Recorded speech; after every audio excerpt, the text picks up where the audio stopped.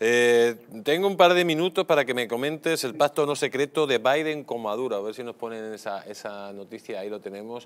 Eh, eh, ese pacto, que ya ni, ni, no secreto ni nada, es clarísimo entre Biden y Maduro. que está recorriendo toda Hispanoamérica y que hace que sea muy preocupante, ¿no?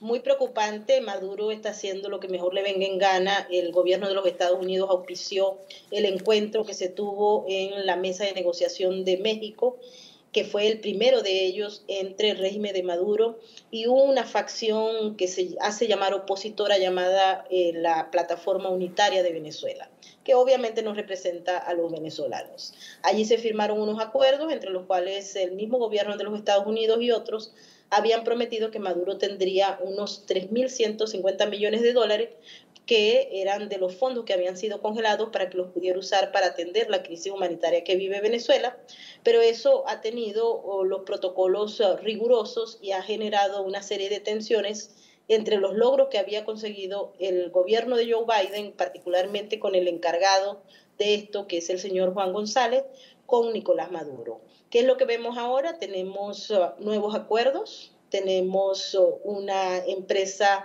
petrolera, Chevron, que ya tiene prácticamente el sexto envío de petróleo venezolano a los Estados Unidos, que tiene convenios secretos firmados con PDVSA a pesar de que siguen manteniéndose las sanciones. Y bueno, a todas estas Maduro ha ganado, se le devolvieron los dos narcotraficantes que estaban arrestados pagando condena eh, luego de haber sido procesados por delitos justamente de traficar cocaína a los Estados Unidos, pero son sobrinos de Maduro y él los Igualmente ha tenido como un logro sustancial el demandamiento de algunas de las sanciones, así como también que le sacaran de la lista OFAC a uno de los grandes operadores del régimen, que es también, por cierto, sobrino de Nicolás Maduro y de Cilia Flores.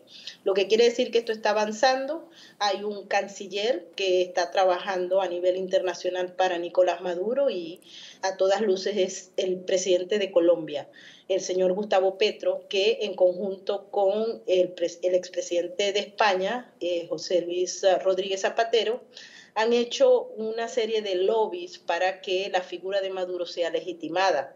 Y bueno, también para llevar criminales a España, porque además está decirte que el jefe de espías del régimen, que es un torturador, violador de derechos humanos y que ha cometido delitos de lesa humanidad, en estos momentos se encuentra en libertad en España gracias a Rodríguez Zapatero.